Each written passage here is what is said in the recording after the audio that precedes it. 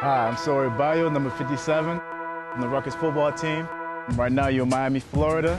You're at Gulliver Prep. I'm here to show you my high school. Now we're in the weight room. This was one of the most important part of football in high school. Coach made a real point on us being in the weight room.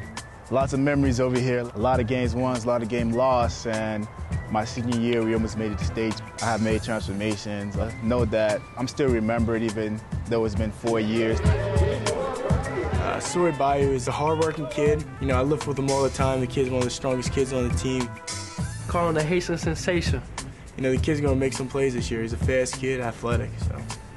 Sorie Bayoh, he's he's he's a hard worker. Like every time you see Sorie, he's full of energy, always full of go, all of those things, always giving his best effort, just going full speed, like one of the high energy guys that never stops. Welcome, you're inside my house. This is my family, friends. This is Pierre, my cousin. Ahmed, my little brother. Jarvis, he played with me. My cousin Gigi, my dad, my mom, and my sister. He is the fourth of our kids to go off to college. Having a degree from Rutgers is like having a degree from Princeton or Harvard. It's so neat that he's that far away, but I get to see him on the weekends on television. I, mean. I told my teachers, my friends, I told friends I have from elementary school.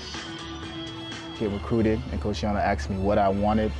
I said family, because that's the same way it was in my high school. I could not have chosen a more perfect individual to continue from where we've left off. Family is the one when you're down that picks you up. Not only considered one of the top teams in the nation, but also considered one of the smartest. And when we get to the workforce, they will know that we can handle it.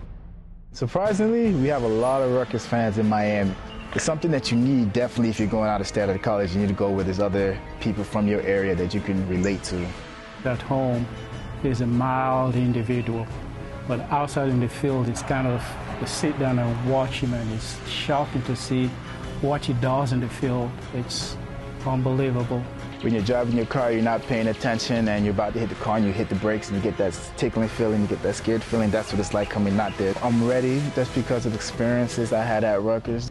I hate to use the analogy because I'm a football player, but life is kind of like two minutes. Everything is that fast, and you have to be able to be calm and collective.